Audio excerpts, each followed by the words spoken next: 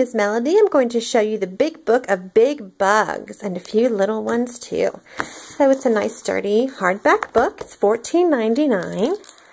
You open it up and you see some big bugs. Ooh. Not necessarily my thing, but a lot of kids like it. And so it's called the Big Book of because it has these huge, like it keeps going. Oh, these huge fold out pages. Look at that. This just captivates kids because the pictures are so big and beautiful.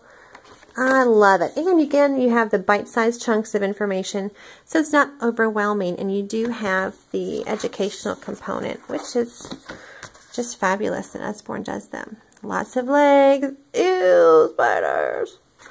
But again, kids love it. Look at that. Oh, oh, can't even, can't even look. Okay. And then it talks about hidden bugs. And then again, here you have another big fold out. Ooh.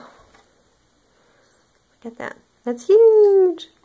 And again, you see all the little bite-sized chunks. Not overwhelming. And then, ah, look at that. Isn't that fun? Deadliest bugs. That's interesting. Big beetles.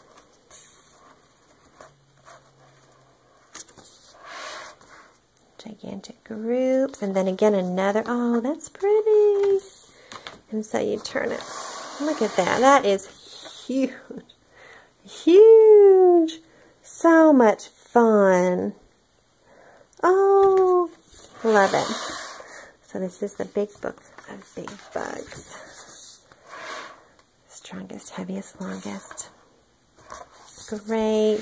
This book, like I said, is $14.99 for a nice, beautiful hardback Usborne book. To order this and other Usborne books, please go to my website, usbornebookbarn.com. Thank you.